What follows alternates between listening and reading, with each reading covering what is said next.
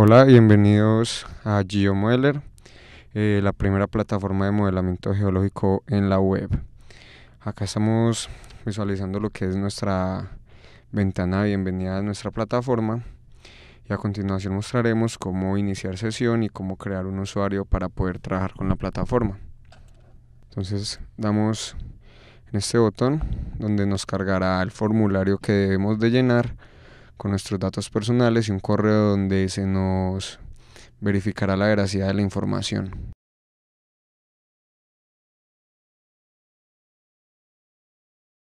Ok, esta es la pantalla de confirmación. Una vez hemos confirmado en nuestro correo el registro, entonces bienvenidos a GeoModeler. Entonces acá lo que vamos a continuación es a la página principal Perfecto, ya cuando tenemos nuestra página principal, así nos recibe GeoModeler.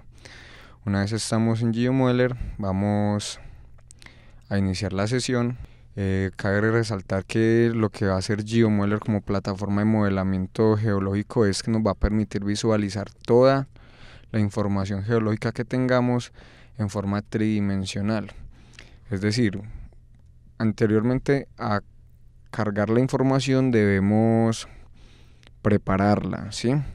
Prepararla desde algún sistema de información geográfico como ArcGIS o como QGIS, donde podemos procesar los datos, escoger un área, delimitarla, donde escogemos los datos estructurales que deseamos visualizar, donde delimitamos todo esto y donde vamos a editar y a tener claro nuestra tabla de atributos, que nuestra tabla de atributos va a ser la que nos va a dar la información visual aparte de los polígonos y las líneas que a continuación vamos a explicar. Entonces una vez iniciamos sesión, esta es la pantalla que nos va a recibir, donde tenemos al lado izquierdo nuestros estudios, al lado derecho donde podemos crear nuestros estudios y en la parte inferior lo que tenemos son la localización de distintos estudios públicos que se han generado alrededor del mundo. Entonces a continuación vamos a crear nuestro primer proyecto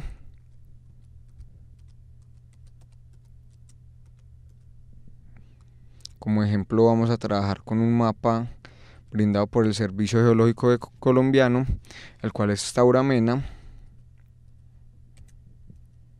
ubicado en el Piedemonte Llanero. Entonces, en este momento ya creamos nuestro primer proyecto. Una vez lo creamos, él nos va a dar la verificación de que ha sido creado nuestro proyecto. Entramos a nuestro modelo esta es la pantalla que nos recibe, donde nos va a ir guiando paso por paso.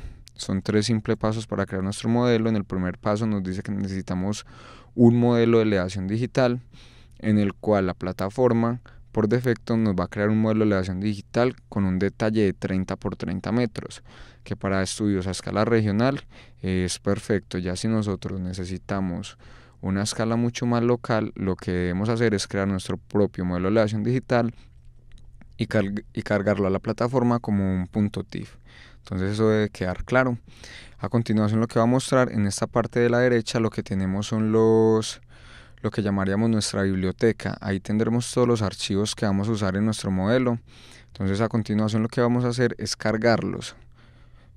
Para cargar nuestros archivos, como ustedes saben, cuando nosotros trabajamos desde ArcGIS o desde un sistema de información geográfico, nuestros archivos quedan guardados un solo file con una cantidad de archivos que serían 7. Lo que necesitamos hacer para que la plataforma nos coja toda esta información es meter la información en una sola carpeta y posteriormente comprimirla. Para comprimirla debe quedar en una extensión de .zip, no .rar, sino .zip y debe quedar eso muy claro para que la plataforma pueda entender la información. Una vez ya hemos comprimido nuestra carpeta, con los datos que necesitamos la cargamos a nuestra plataforma.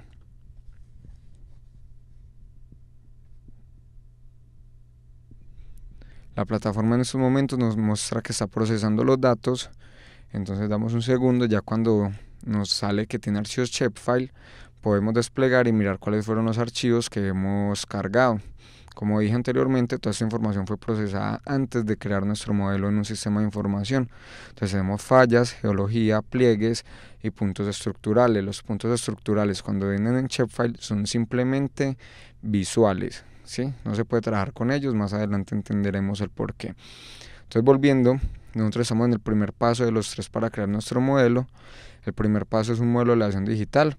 Entonces, si yo quiero que me cree uno, simplemente le doy continuar. Si yo voy a usar uno de mis archivos, le voy a dar en que voy a usar uno de mis archivos DEM y si tuviera algún archivo .tif aquí me estaría saliendo. En nuestro caso vamos a darle continuación porque vamos a usar el modelo que nos crea la plataforma.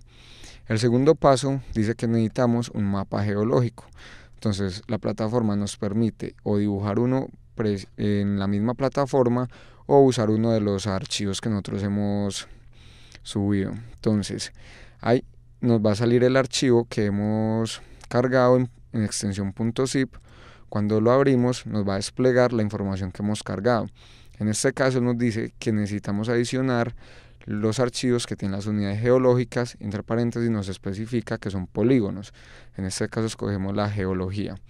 Cuando escogemos la geología, nos va a salir lo que es la tabla de atributos. ¿sí? Entonces en esa tabla de atributos nos va a salir cuáles son los atributos que hemos escogido. Para este caso, nosotros vamos a escoger que sea el código el que nos defina nuestras unidades geológicas y otros campos que podemos usar si nosotros tenemos en nuestras tablas de atributos como génesis, litología, eh, granulometría, toda la tabla de atributos, lo que queramos. Entonces lo que podemos hacer es activarlo para que nos brinde esa información.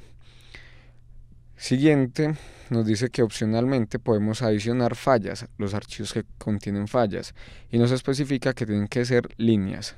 Entonces volvemos a abrir nuestra carpeta, escogemos nuestro archivo de fallas y el mismo proceso. Acá nos está saliendo la tabla de atributos, donde vamos a escoger con qué nombre o con qué campo nos va a denotar la, los nombres de las fallas. En este caso es el NMG, que es el nombre de cada una y como propiedades adicionales, si ustedes tienen, digamos, el movimiento de las fallas o alguna propiedad que les indique a eso o algo de eso, lo pueden escoger.